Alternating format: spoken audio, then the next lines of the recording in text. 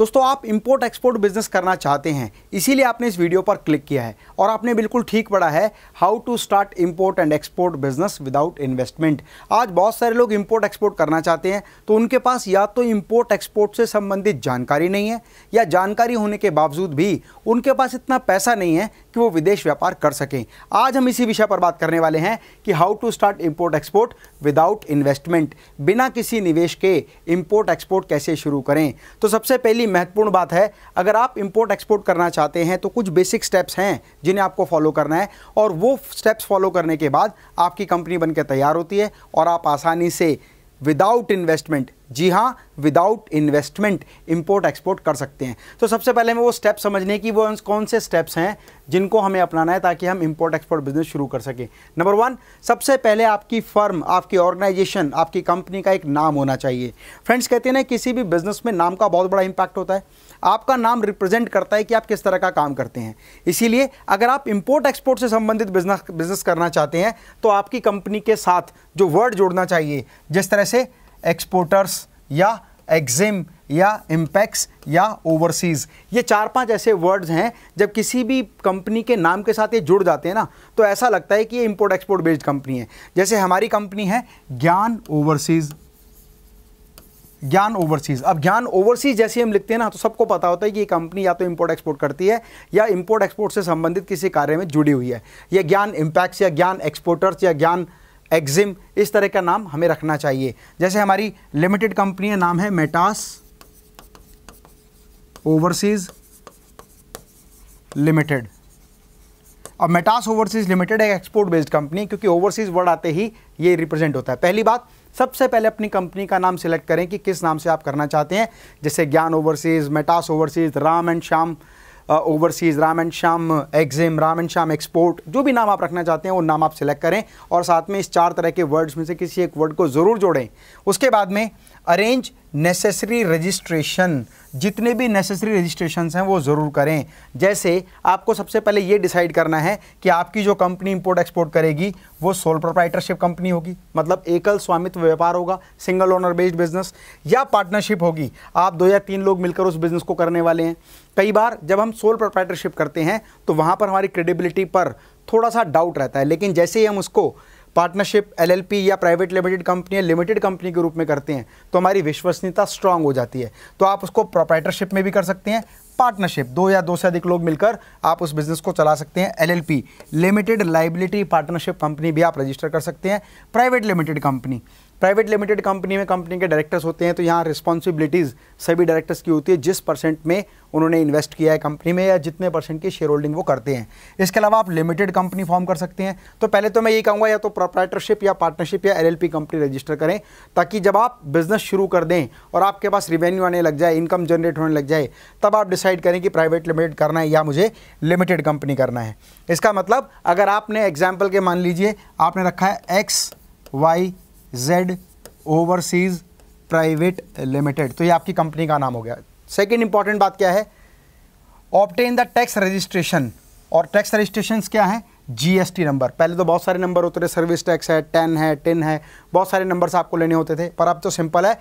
आपको केवल GST number लेना है। गुड्स एंड सर्विसेज़ टैक्स का जो रजिस्ट्रेशन है, वो आपको करना है, जो भी हमारे गवर्नमेंट ऑफ़ इंडिया की टैक्स अथॉरिटी है।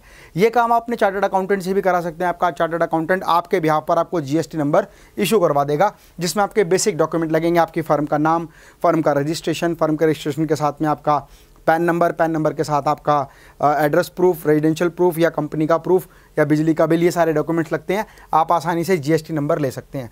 जीएसटी नंबर लेने के बाद सबसे इंपॉर्टेंट जो स्टेप है, आपको एक ऐसे बैंक अकाउंट में बैंक में करंट अकाउंट खोलना है जो प्रेफेबली ऑथराइज हो इंटरनेशनल ट्रांजैक्शन करने के लिए।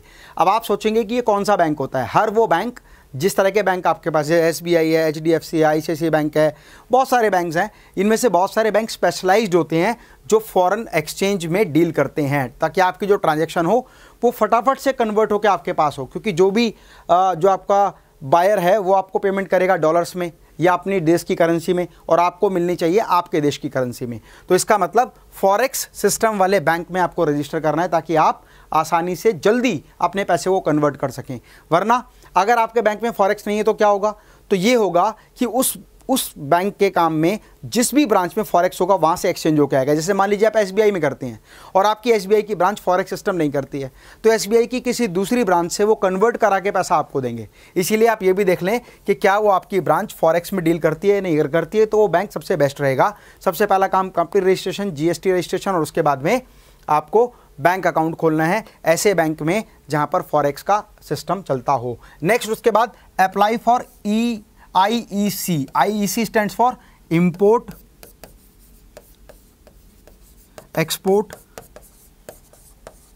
code ये import export code government of India का एक डिपार्टमेंट है, जिसको हम बोलते हैं डीजीएफटी डीजीएफटी से हम वो कोड लेते हैं। जोनल डीजीएफटी होता है। हर स्टेट का एक डीजीएफटी ऑफ़िस होता है, जहाँ से आप रजिस्ट्रेशन करा सकते हैं। Zonal director general of foreign trade DGFT से आप रजिस्टर कर सकते हैं। और आज तो सिस्टम बहुत आसान हो गया है। आप डीजीएफटी की साइट पर जाइए ऑनलाइन अपने सारे डॉक्यूमेंट सबमिट कीजिए रजिस्टर कीजिए, उनकी ऑनलाइन फ़ी सबमिट कीजिए, और आसानी से आपका इंपोर्ट एक्सपोर्ट लाइसेंस आपके पास आ जाएगा, है ना? तो उसके बाद इम्पोर्ट एक्सपोर्ट लाइसेंस लेना है। इसके बाद में apply for R C M C R C M C बड़ा इंपॉर्टेंट रोल प्ले करता है यहाँ पर। Friends R C M C का मतलब होता है registration cum membership certificate registration cum membership certificate इसके बारे में थोड़ा सा आपको बता देता हूँ।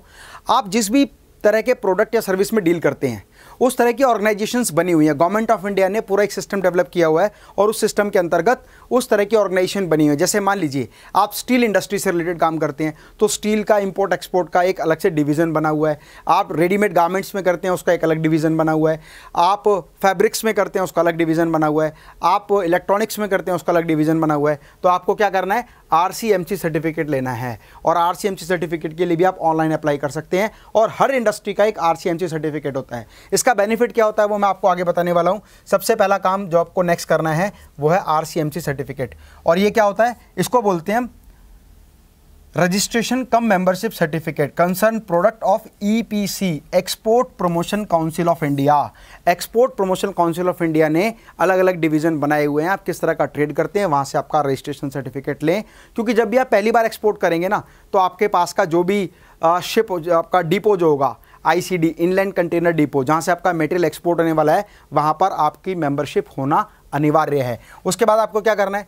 डेवलप करानी है आपको अपनी वेबसाइट अपने सिलेक्टेड प्रोडक्ट से रिलेटेड अभी आपका एक प्रश्न था कि सर अभी आपने कहा था कि बिना इन्वेस्टमेंट के बिज़नेस कैसे करना है। यस yes, फ्रेंड्स मैं वही आपको बताने वाला हूँ।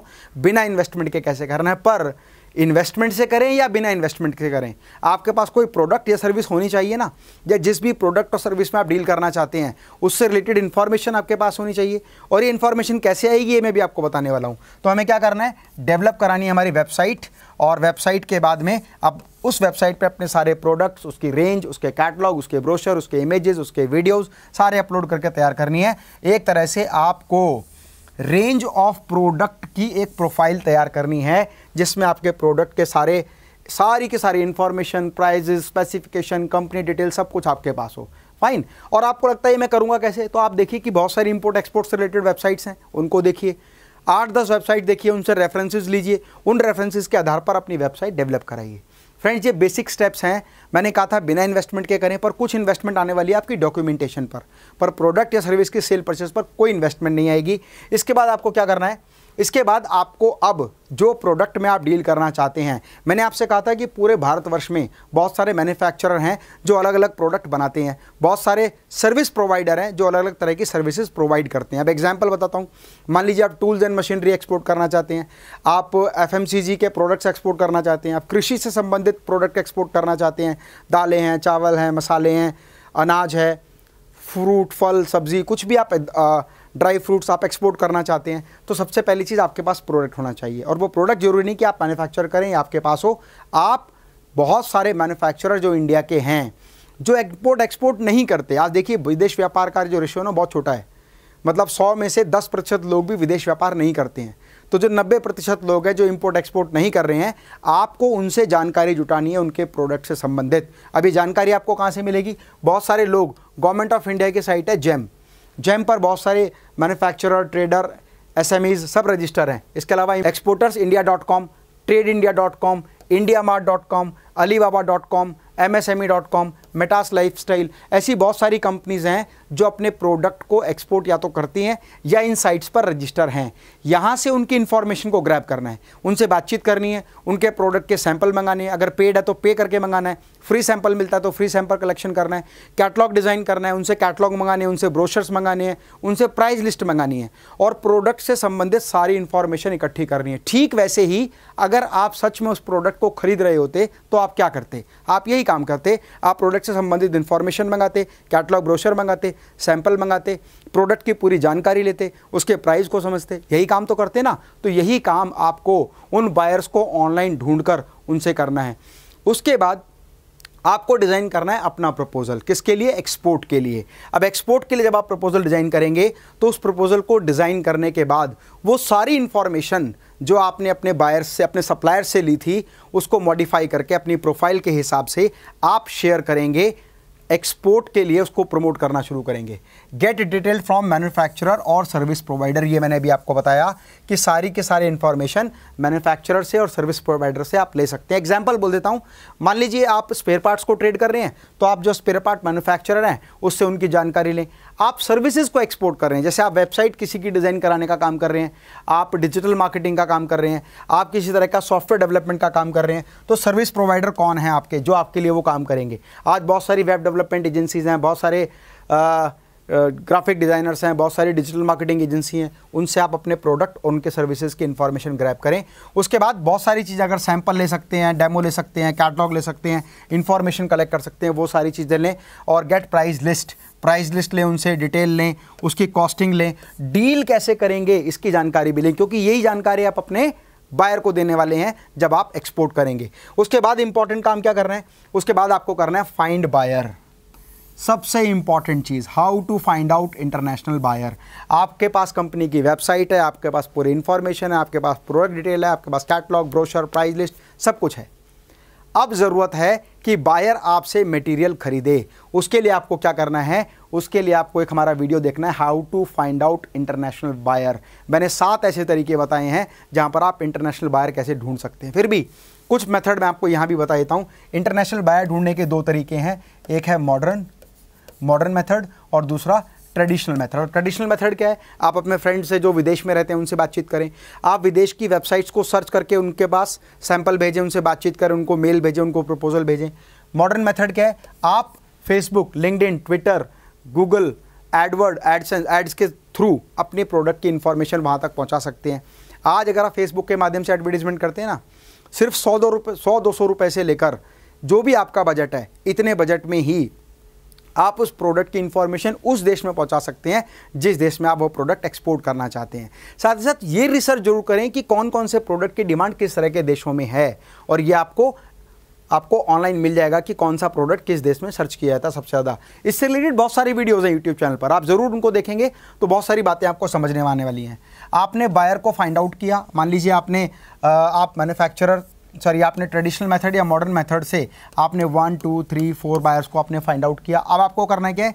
सेंड देम प्रपोजल उन चारों लोगों को आप प्रपोजल भेजें। प्रपोजल मेल के थ्रू भेजें। और अगर मेल के थ्रू प्रपोजल भेजना नहीं आता तो सबसे पहले किसी से प्रपोजल मंगवाएँ। उस प्रपोजल को स्टडी करें। और उसके बाद अपना प्रपोजल डिज़ाइन करके अपने बायर्स को प्रपोजल भेजना शुरू करें, जिन्होंने आपके आपके प्रोडक्ट या आपके सर्विसेज़ में इंटरेस्ट शो किया है। उसके बाद गिव देम प्राइज ऑफ़र कई बार ऐसा होगा कि आपका जो बायर है वो आपसे प्राइस ऑफ़र से पहले कुछ सैंपल मांगेगा। ठीक उस तरह से जैसे आपने अपने सप्लायर से सैंपल मांगे थे। वही पेड बेसिस पर या फ्री ऑफ़ कॉस्ट बेसिस पर वो सैंपल्स आप वहाँ पर भेज सकते हैं। उसके बाद में सैंपल अगर आपका पास होता है तो पेमेंट के टर्म्स एंड कंडीशन पर बात होगी। आप बताएँगे कि मैं लेता हूँ fifty percent on order and fifty percent before dispatch तो ये आपकी टर्म्स एंड कंडीशन होगी। अगर वो व्यक्ति आपकी टर्म्स एंड कंडीशन को समझता है और मानता है तो वो आपको ऑर्डर देने के लिए तैयार होगा। और जैसे ही आपका बायर आपको 50 परसेंट वैल्यू एडवांस पे करे। ठीक यही ऑर्डर उठाकर आप अपने सप्लायर को दे दें। मतलब मैंने बताया था ना, जितने भी सप्लायर आपने ढूंढे हैं Trade India Alibaba exporter India India Mart GeM MSME की वेबसाइट मेटास लाइफस्टाइल के मॉडुलो किचन के प्रोडक्ट जहाँ भी आपने प्रोडक्ट आपको एक्सपोर्ट करना है, अपने बायर को तुरंत वो ऑर्डर अपने सप्लायर को तुरंत वो ऑर्डर प्लेस करें। और जैसे ही आपका मटेरियल रेडी हो उसकी इमेजेस उसकी इन्फॉर्मेशन अपने सप्लायर से मंगाएँ और वही इन्फॉर्मेशन उठा के अपने बायर को भेज दें। बायर को बोलें कि मुझे बाकी पेमेंट डिपॉजिट कराओ ताकि मैं मेटेरियल डिस्पैच करूँ। अब मेटल डिस्पैच से लेकर शिपमेंट तक और उस राज्य में, उस देश में, उस व्यक्ति तक पहुँच जाने की सारी इन्फॉर्मेशन बहुत सारे वीडियोज़ में आपको मिलने वाली है। मेरा आपसे रिक्वेस्ट है, सबसे पहले बेसिक स्टेप्स लें। फ्रेंड्स करना बहुत लोग चाहते हैं, लेकिन करने के साथ साथ क्या तरीके अपनाने हैं, इस पर अमल कोई नहीं करना चाहता। लोगों को ना एक एक मतलब एक हॉबी है, एक ऐसा उनके मन में क्रेज़ है कि वीडियो देखें तो मज़ा आना चाहिए। दोस्तों, कुछ वीडियो मज़े के लिए होती हैं और कुछ वीडियो लर्निंग के लिए होती हैं। और केवल लर्निंग से आप लाइफ में आगे बढ़ने वाले नहीं हैं। जो भी आपने सीखा है, समझा है, उसको इम्प्लीमेंट करें और इम्प्लीमेंट करने के बाद जो प्रॉब्लम्स आएँगी, उनमें स्ट्रैटेजी को अप्लाई करें और निरंतर प्रयास करते करते एक दिन आप भी एक ग्रेट एक्सपोर्टर की तरह काम करना शुरू कर देंगे। और ये तो बात रही विदाउट इन्वेस्टमेंट ट्रेडर भी तो यही काम करते हैं। ट्रेडर क्या करते हैं? अपने सप्लायर से रेट लेते हैं सैंपल लेते हैं प्रोडक्ट की डिटेल लेते हैं और वही इंफॉर्मेशन आगे अपने एक्सपोर्ट से रिलेटेड बायर को भेज देते हैं। और बायर जैसी ऑर्डर प्लेस करता है, वही सेम मटेरियल का ऑर्डर वो उठा के अपने सप्लायर को दे देते हैं। तो ऐसा मत सोचो कि आप कुछ अलग करने जा रहे हैं। ट्रेडर भी इसी तरीके से काम करते हैं और जब आप उस काम में एक्सपर्ट हो जाएँगे तो एक समय ऐसा होगा कि आपको बायर्स के ऊपर डिपेंड नहीं रहना पड़ेगा। आप ऑलरेडी अपना स्टॉक रखेंगे और उस स्टॉक से ही आप अपने वॉल्यूम को, अपनी सेल्स को लीड करेंगे। तो धीरे धीरे धीरे करके आप प्रयास जब करेंगे तो सफलता आपके कदम चूमेगी। यही बात मैं आपको बताता हूँ मेटास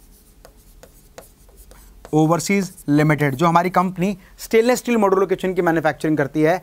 आज बहुत सारे एसोसिएट्स वो क्या करते हैं? वो हमारे प्रोडक्ट की सारी इन्फॉर्मेशन लेते हैं कैटलॉग लेते हैं ब्रोशर लेते हैं, काम करने का तरीका समझते हैं, हमसे पूरे ट्रेनिंग लेते हैं।